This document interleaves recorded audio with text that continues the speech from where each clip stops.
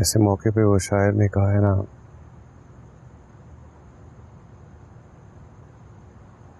हाँ याद आया। तो क्या ये तय है कि अब उम्र भर नहीं मिलना? ये तो तुम्हारी चॉइस है। मैं तो आज भी तुम्हारे साथ रहना चाहती हूँ। अपनी शर्त पर। मोहब्बत में कोई शर्त नहीं होती। अरसलान हम इतने तो मैच्योर हैं कि समझ सकें कि ख्वाबों में ज़िंदगी नहीं बसर की जा सकती। हैरत है कि ये तुम मुझे कह रही हो।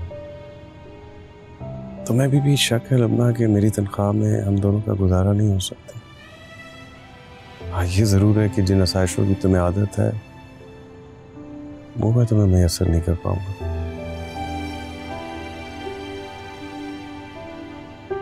सुकून और आसाइशों की ख्वाहिश करना कोई गुनाह तो नहीं है। ख़ास तौर पे उस वक्त जब ये सब हमें मैसर हो। हमें नहीं। तुम्हें मैसर थी और है। मुझे नहीं। तुम अच्छी तरह जानती हो, लपना, मैं गरीब बाप का बेटा हूँ। उस बाप का जिसने अपने लिए तो कभी कोई ख्वाहिश की नहीं है। और अगर कभी की भी है तो अपनी औलाद की तरबियत के लिए उसने सब कुछ कुर्बान कर दिया। और अब जब मेरा कुछ लौटा देने का वक्त आया तो तुम चाहती हो कि मैं उन्हें छोड़कर तुम्हारे साथ चल पड़ू? नहीं। मत छोड़। उन्हें भी साथ ले आओ।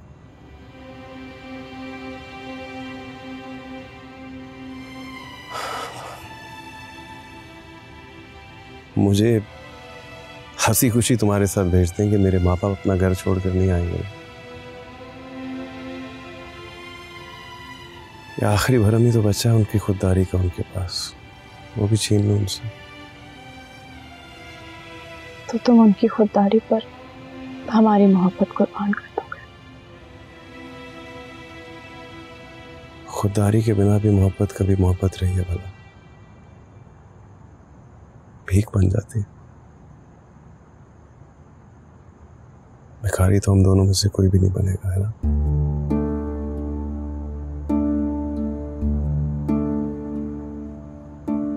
तो फिर ये आखिरी फैसला है।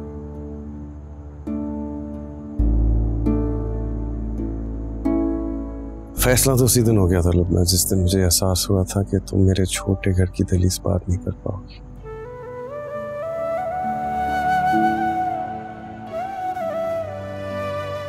मेरी दुआ है कि खुश रहो।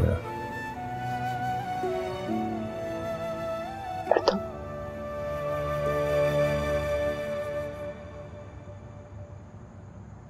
तुम रह लोगे खुश। मेरे बगैर।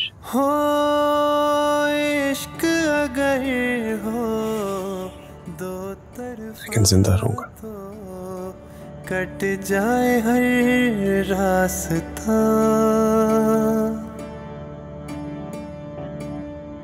क्योंकि मेरी ज़िंदगी में मेरी मोहब्बत से बढ़कर